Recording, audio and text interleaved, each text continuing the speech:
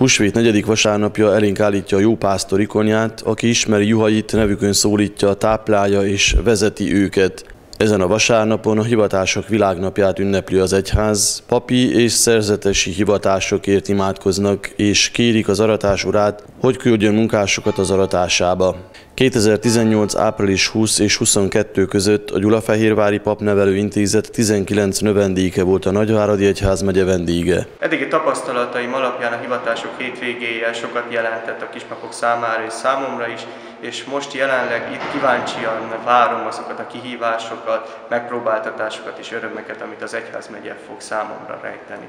Azért jöttem, hogy hivatásomban megerősödjek, és ezben a megerősödésben szeretnék másokat is meghívni, hogy jöjjenek és járják azt az utat, amiket mi járunk. Mert hiszem azt, hogy mindenkinek van hivatása. Hármas csoportokban Szilágysomjon, Sólyomkőváron, Tasnádon, Biharpüspökiben, Hegyköztótteleken, Nagyszalontán és Székelyhídon teljesítettek szolgálatot, beszéltek hivatásukról és betekintést nyertek a plébánia életébe. Fontosnak tartom azt, hogy megismerjük a más egyházmegyéknek a plebániáit, mert a, a szemináriumban is együtt tanulunk, a más egyházmegyéből jött kispapokkal. Szeretném az emberekben felébreszteni azt a hivatás szikrát, amit esetleg megkaptak, de nem merik felvállalni.